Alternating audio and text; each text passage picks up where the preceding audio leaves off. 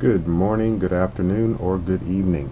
My name's Allan from mindvisionmedia.net and I'm going to show you guys a quick way to get rid of all the revisions that pile up in WordPress as you edit your pages and post. Uh, this will be a quick uh, video, um, really simple, but um, we all know with the latest upgrades to WordPress they have what's called the revisions feature and it saves um, you know all of copies of all of your work. Um, it's part of an auto save feature. So let's say we're just gonna you know go through some simple no-brainer stuff here. I'm just gonna copy and paste that. I'm gonna update the page. Currently we had um, let's see. There is actually a revision count in your page editor or post editor. We have revisions right here. 11. Okay. So I'm going to go ahead and paste, paste another one.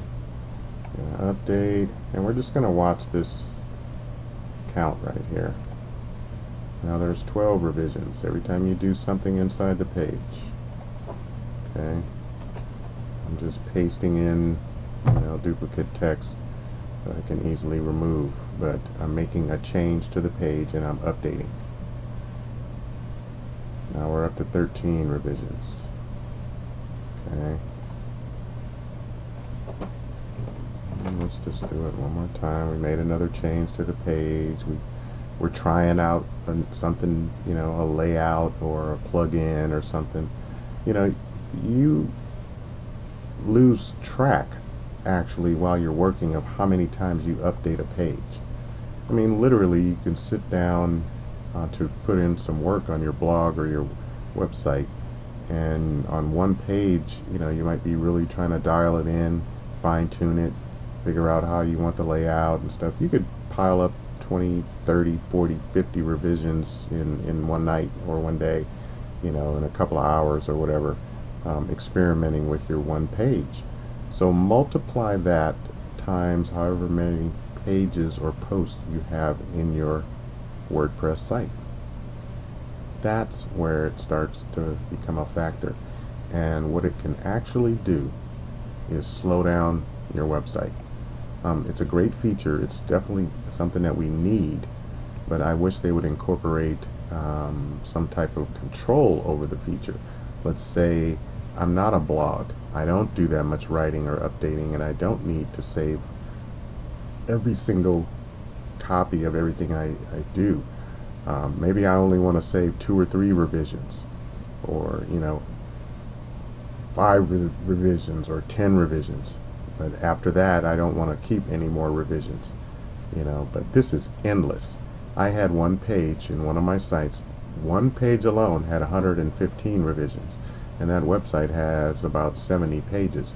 So you know you can kind of do the math. So um, my speed page load everything increased uh, once I got rid of a ton of re revisions. I had literally hundreds hundreds um, of revisions. So your particular case, you know, may be different, but I'm going to show you how you can get rid of all those. Um, you want to go to plugins. You're going to install a really simple, easy plugin. Um, the name speaks for itself, and it is called Optimize Database After Deleting Revisions.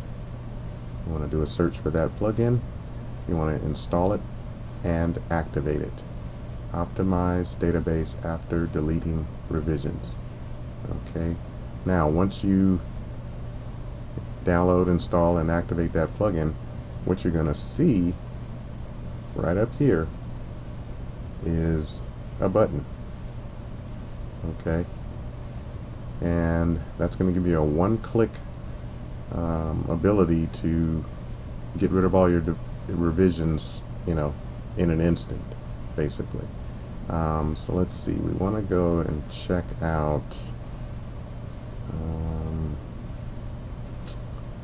let's see, trying to figure out where it is.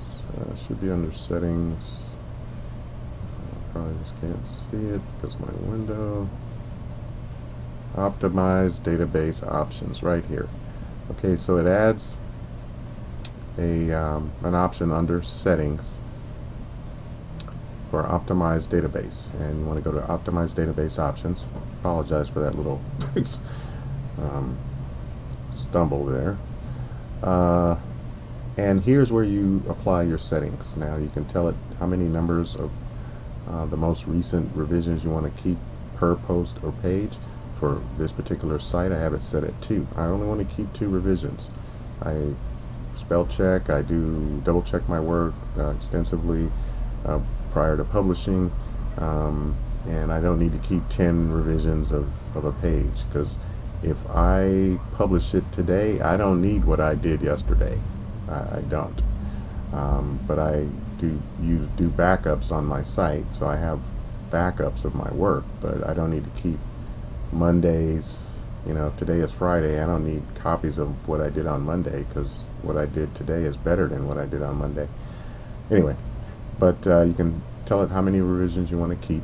Um, you can tell it to delete uh, trashed items, delete spammed items, unused tags, expired transients, and keep a log. I have all of that selected. And I don't have it set on a schedule right now, but you can set it on a schedule. And here's the option to show the button up here. Show one-click link in admin bar. You want to check that so you can have that. And then you also have the option to um, select which uh, database tables um, you want to exclude or include in the um, tools search for all these items. Um, so I include my entire database. I haven't had any issues with that. Um, I include pages and posts. And so with one click, we're going to go back to Let's see, what uh, page was that?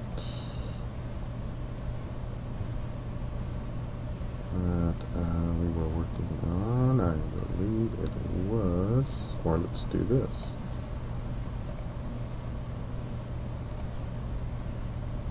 Okay, it was out the shop news. Alright, so as I showed you before, we were building up how many revisions and we watched the count just go up and up okay? Added about four or five revisions on there. Now I'm going to use the one click button option for this handy little plugin. Optimize database one click okay it's going to refresh it's going to bring you to the optimized database page and it's going to tell you what it did alright so it deleted six revisions for this page, one re revision each for these pages, seven revisions for this page, 12 revisions for the one we were working on, two revisions for that page, and four revisions for that. Total of 34 revisions were deleted. Gives you a log, tells you what tables, where, and everything. It's really just a nice, simple plugin. I like the way the guy did it. And at the bottom it tells you before optimization and after optimization. So look how much saved 2.483 megabytes off of the database just from revisions. Okay? That's a lot for a database.